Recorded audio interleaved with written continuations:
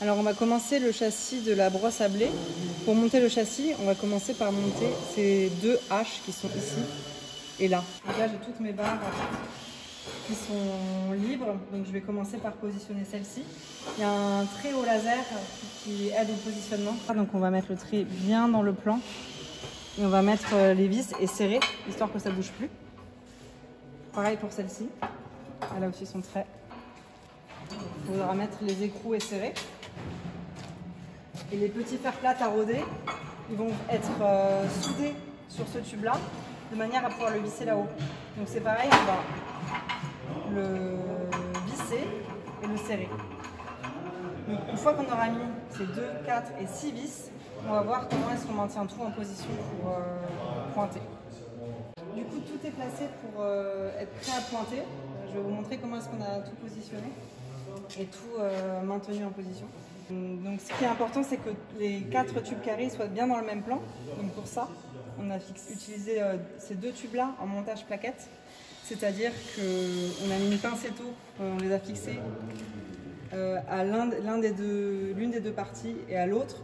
Et du coup, ça assure que tout est dans le même plan. Donc on a fait ça des deux côtés. Et euh, en fait, on s'est rendu compte que c'était pas suffisant parce que ici, à ce niveau-là, on avait euh, vu que notre tube n'est pas assez large. On avait un petit euh, décalage. Donc on a complété par deux gros fers plats. on a mis un serre-joint ici pour qu'il n'y ait pas de jour par rapport à ce tube-là. Et le... il faut aussi maintenir bien plaqué ici et là. Alors là, on voit pas trop, mais ce tube par rapport euh, à ce tube avec le petit fer plat entre les deux. Euh, en tapant au marteau au bout du pied, là-bas. Donc là, on s'est assuré que tout était bien, euh, tout était bien dans le même plan. Ensuite, on a fait l'équerrage, donc s'assurer qu'on soit bien d'équerre entre ça et ça. Bah, pour ça, on a utilisé une équerre et on a également contrôlé les, les diagonales. Donc vérifier que les deux diagonales font la même longueur. Euh, ce qui nous a aidé aussi, ça a été de, mesurer euh, l'écartement entre les pieds ici, qui soit bien égal à l'écartement qu'il y a ici. Euh, finalement, c'est pas ça qui nous a permis de conclure l'équerrage, mais c'est ce gros serre-joint là qui a permis de resserrer la diagonale. Donc là, on a un ensemble qui est tout dans le même plan. On fait les deux côtés en même temps afin de pouvoir contrôler l'équerrage sur la partie rectangle, plutôt qu'un côté et un autre côté. Et là, c'est prêt à pointer. Du coup, on a, bien laissé les accès euh, pour pointer ici, en opposition. Et là, on va pouvoir euh, réussir à pointer aussi euh, au moins d'un côté. On va terminer le châssis de la brosse à blé, où il faut venir souder ces barres-là, des deux côtés. Et pour ça, on va le faire avec la grille en place. Donc on va rentrer la grille bien la plaquer.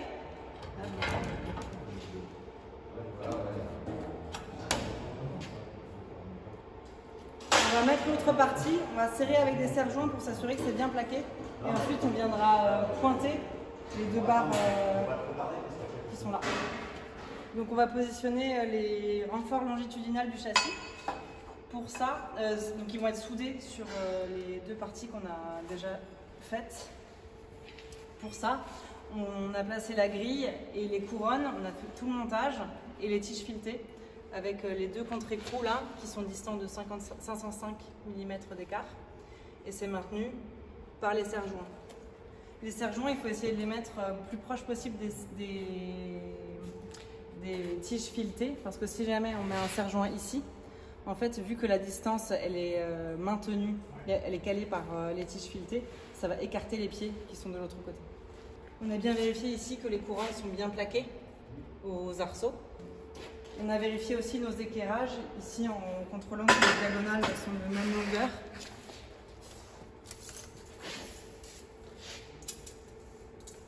Donc là, j'ai 945.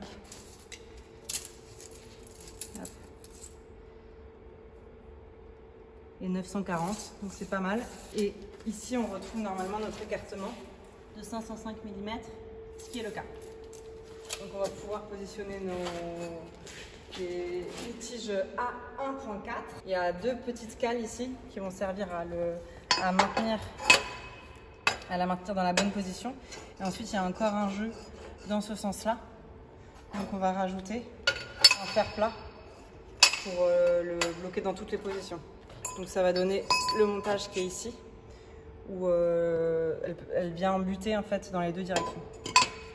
Donc je place ma barre et puis je vais la maintenir pour pouvoir la pointer. On place maintenant le carter supérieur de la brosse. Là, ici, ce qui va être important, c'est qu'il ne dépasse pas latéralement. Le fait que là, là, ce soit pas droit sur la face avant, c'est pas, pas ça qui est important, mais c'est que sur les deux côtés, là, ça ne dépasse pas. Donc on va venir le fixer et ensuite on va contrepercer les, le, fer plat qui est dessous pour pouvoir ensuite le tarauder et visser. Donc on a placé le carter supérieur avec euh, les vis, euh, les, perçages taraudage qui permettent de visser aux couronnes. Et ici, il y a la cornière qu'on a soudée par soudure, bouchon. Donc là, on peut enlever toutes les vis et démonter le carter supérieur.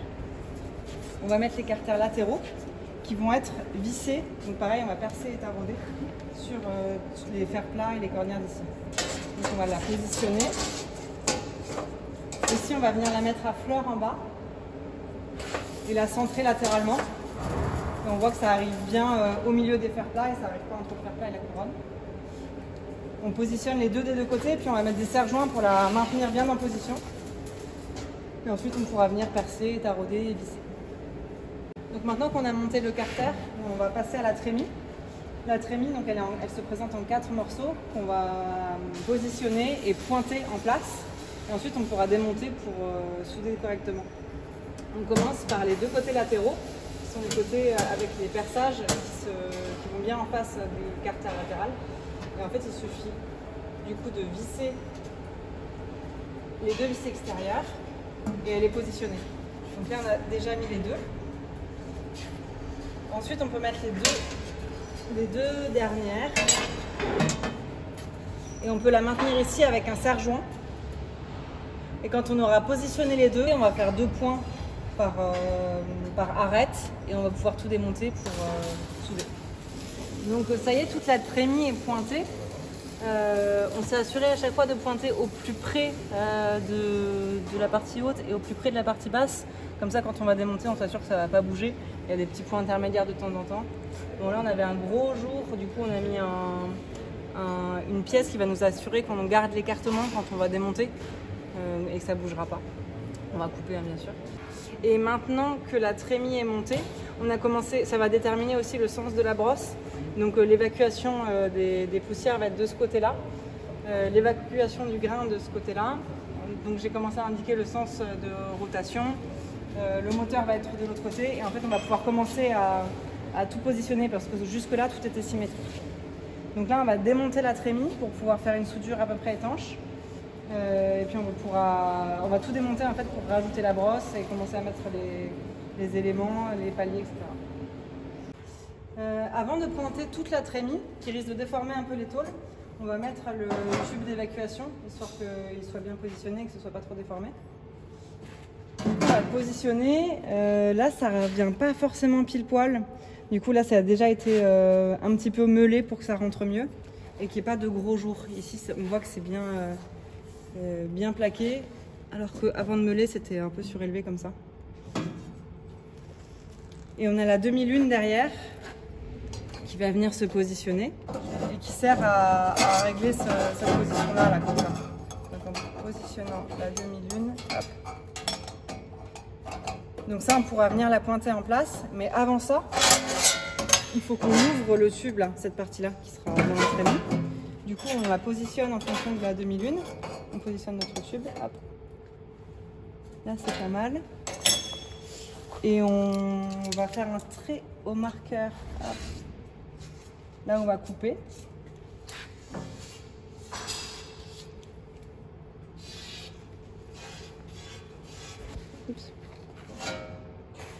Donc on va couper ça à la meuleuse. Et par rapport au trait qu'on a fait, euh, qui est assez épais, on va se mettre euh, à l'intérieur.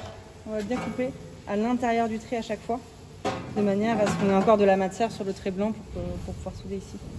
Donc on va couper là, ensuite le pointer en place, pointer la demi-lune, et ensuite on pourra venir faire nos, nos cordons. Je ne sais pas si on va faire des cordons ou juste plein de petits points pour assurer l'étanchéité. Je pense que les deux sont possibles. Donc on a monté le, rotor dans la, dans la brosse. Donc là, ce qui est important, c'est ce jour-là. Ce jour-là, il faut qu'il les mêmes des deux côtés. Donc là aussi. Voilà. Alors pour, pour ce réglage-là, c'est... euh, le palier, il a des lumières, donc on le bouge euh, pour équilibrer les deux. Et l'autre qui est très important, c'est le jour ici et le jour là. Voilà. Et alors pour régler celui-là, pour régler ce jour-là, c'est ces cales-là. Alors il y a plusieurs épaisseurs. Il y a du 0,5 ou du 1. Ensuite, un autre réglage qui est important, c'est la position des le, centrage des brosses. Donc ça, pour, pour voir ça, on voit ici la distance en- entre la brosse et le tube. Ici et là. Et donc on équilibre. Donc on fait bouger le- tout le rotor par rapport au palier en fonction de ça. Et ensuite on vient verrouiller. Une fois qu'on a la bonne dimension, la bonne distance, que c'est bien au milieu, on vient serrer les deux vis là. Comme ça les paliers ils sont solidaires euh, de l'axe. Et ça peut plus bouger dans ce sens. Quand on a terminé ça, on met la poulie. Voilà. Donc là, là on est prêt à recevoir les courroies. Enfin, il y aura l'alignement à faire. Alors, sur les finitions de la brosse, du coup on a fini euh, la trémie. Euh, à noter qu'on a dû souder des, soudures derrière pour pouvoir bien venir plaquer euh, comme ça. On a dû aussi, euh, à l'intérieur, on s'est assuré qu'il n'y a pas du tout de, de point de soudure qui dépasse. Déjà pour que la trappe coulisse bien et potentiellement si on veut rajouter une trémie dedans, il faut que ça soit net. Euh, comme c'est un trou, on a dû faire ça avec une meuleuse droite une fraise. On est venu plaquer euh, bah, les plaques qu'on a boulonnées. Et les tiges filetées, on les a positionnées comme ça, de manière à ce qu'elles dépassent en avant. Pour pouvoir poser la porte dessus.